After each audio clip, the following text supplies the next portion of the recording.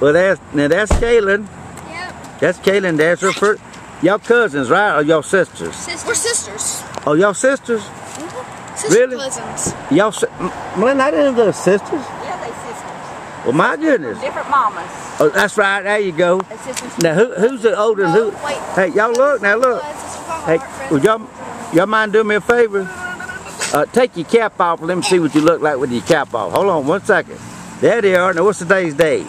August 17th, 2000, no, 2023. And, uh, AKA, yeah, and y'all going where you headed right now? it's her birthday. All right, birthday, happy birthday. Hey, let me get your pants there. Now, them pants cost $75.